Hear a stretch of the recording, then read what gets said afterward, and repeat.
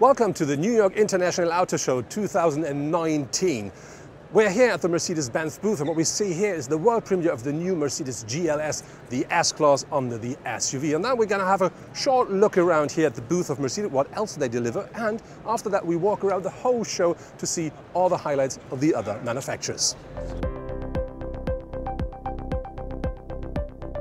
The GLS is celebrating its world premiere here in New York with the V8 engine on board. This is the so-called GLS 580 4MATIC and that car delivers 489 horsepower, 700 newton meters of maximum torque and thanks to its 48 volt system, that car also supplies with another 22 horsepower via its so-called EQ boost system. But there will be another six-cylinder diesel engine available in two different power levels for Europe as well. And of course, the GLS always feature a 9-speed automatic gearbox and all-wheel drive. The new GLS has grown by 77 mm in length and 22 mm in width. On top it offers 60 mm more wheel space, which causes a lot more space for passengers on the rear seats.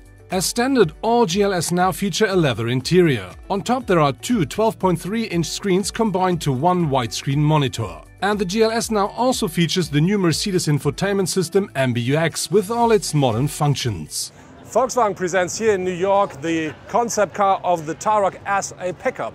And what I really like with the car, something unusual. If you fold down the rear bench, you can load your stuff into the car and into the cabin as well. I think this is quite unique. First time in the US is the new Range Rover Velar SV Autobiography. This is the top version of this um, Range Rover and under the hood you find a V8 5 litre uh, supercharged engine, 550 horsepower and this accelerates in only 4.5 seconds from 0 to 100 kilometers per hour. So now I found uh, Gorden here, chief designer of Mercedes. Gorden, I have a question. Hi. You brought the new GLS to New York an icon, I think, and I really like the car. What is new regarding to the exterior design of the car? Yeah, as you say, it's a perfect fit presenting our new GLS class here in New York. Um, I mean, this is like the S class of the SUVs, a, a huge car. You can see the height um, with a lot of presence, a lot of status, a very bold car. Uh, on the other hand, it's still along our essential purity philosophy. You can see it's a central car. It's a beautiful car. Um, so we we combine both aspects of these, and I think with that, um, that makes this car, like you say, a true icon. And when we talk about the side and the rear of the car, what happens in detail?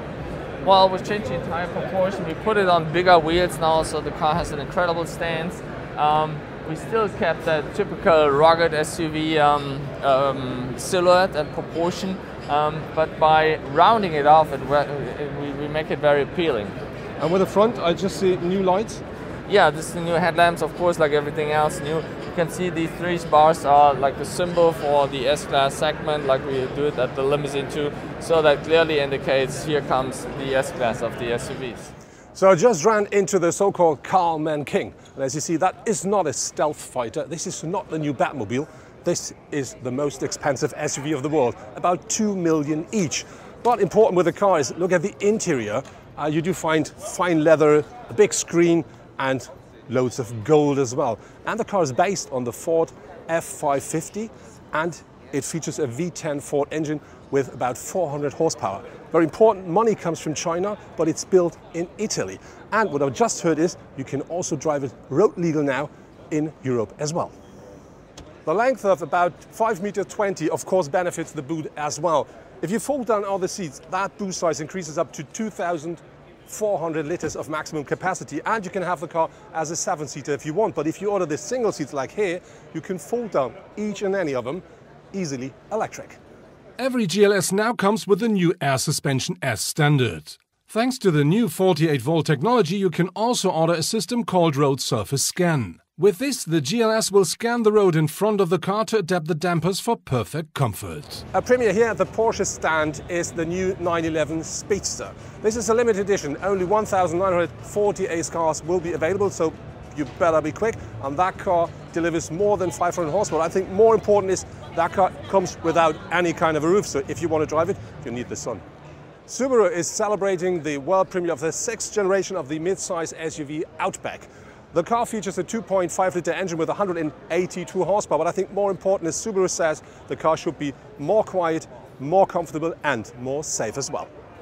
Nissan is celebrating 50 years Z here in New York because that's the model which was presented 50 years ago uh, at that time as the so-called Datsun 240. But because of this celebration here and the anniversary, they present an extra special edition of the 370. And this is it, the original Datsun 240Z. And aside of it, this is the anniversary model. This is the 370Z, and you can have that in two different colors. Unfortunately, we have no idea about how powerful it really is. Another world premiere here at the Mercedes-Benz booth is the new GLC Coupe. Very important, that car is just a facelift, but now it features MBUX, completely new engines and more driver assistance and safety systems. That was it from the New York Auto Show 2019 and I really do like the show a lot because it's quite tiny. You don't have to walk that much to explore all these beautiful cars. But my absolute favorite is here at the Mercedes-Benz booth, which is, which is the new Mercedes GLS, the S-Class of the SUVs. I really do like this car a lot. I'm really looking forward to drive that one in Utah quite soon.